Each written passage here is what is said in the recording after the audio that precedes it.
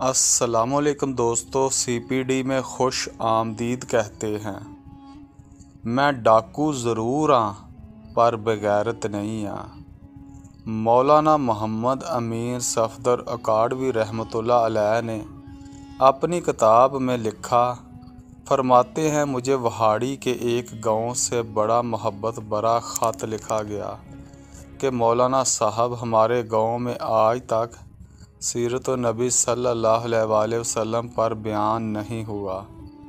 हमारा बहुत दिल करता है कि आप हमें वक़्त अनायत फरमा दें, हम तैयारी कर लेंगे। मैंने मोहब्बत बड़े जज्बात देख कर ख़त लिख दिया कि फ़लाँ तारीख को मैं हाज़िर हो जाऊँगा।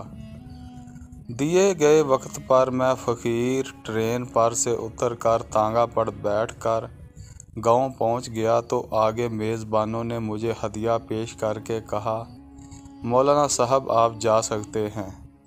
हम बयान नहीं करवाना चाहते। वजह पूछी तो बताया गया कि हमारे गाँव में नब्बे फ़ीसद कादियानी हैं। वो हमें धमकियाँ देते हैं कि ना तो तुम्हारी इज़्ज़तें, ना माल, ना घर पर महफूज रहेंगे अगर सीरत नबी सल्लल्लाहु अलैहि वसल्लम पर बयान करवाया तो।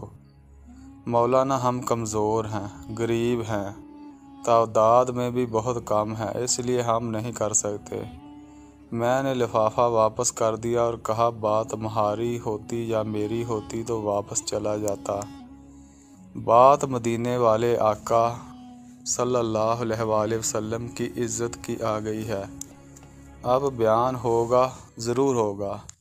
वो घबरा गए कि, हज़रत, आप तो चले जाएँगे, मसला तो हमारे लिए होगा। मैंने कहा, इस गाँव के आस-पास कोई डंडे वाला जनी बा असर जा गुंडा है? उन्होंने बताया कि गाँव से कुछ दूर नूरा डाकू रहता है। पूरा इलाका इससे डरता है। मैंने कहा, चलो, मुझे ले चलो नूरे के पास। जब हम नूरे के डेरे पर पहुँचे देख कर नूरा बोला, आज खैर मौलवी केवे आ गए ने? मैंने कहा कि बात हजूर अलैहि वसल्लम की इज़्ज़त की आ गई है। तुम कुछ करोगे?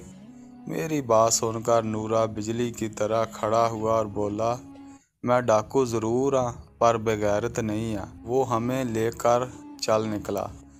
मस्जिद में तीन घंटे बयान किया। मैंने और नूरा डट कर खड़ा रहा। आखिर में नूरे ने कहा कि अगर किसी ने मुसलमानों की तरफ़ आँख उठाकर भी देखा तो नूरे से बच नहीं सकेगा, मैं वापस आ गया। कुछ माह बाद मेरे घर पर एक आदमी आया, सर पर अमामा, चेहरे पर दाढ़ी, ज़बान पर दरूद पाक का विरद मैंने पूछा, कौन हो? वो रोकर बोला, मौलाना, मैं नूरा डाकू आँख लगी ही थी प्यारे मुस्तफ़ा करीम सल्लल्लाहु अलैहि वसल्लम मेरे ख्वाब में तशरीफ़ लाए। मेरा माथा चुम्मा और फरमाया, आज तूने मेरी इज़्ज़त पर पहरा दिया है। मैं और मेरा अल्लाह तुमसे खुश हो गए हैं। अल्लाह ने तेरे पिछले सब गुनाह माफ़ फरमा दिए हैं।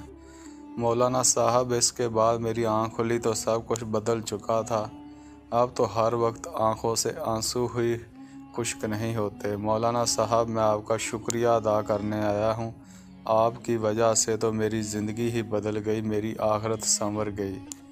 दोस्तों, आज की वीडियो कैसी लगी? अगर वीडियो अच्छी लगी है तो इस वीडियो को लाइक करें, शेयर करें और हमारे चैनल को सब्सक्राइब करें। अल्लाह हाफिज़।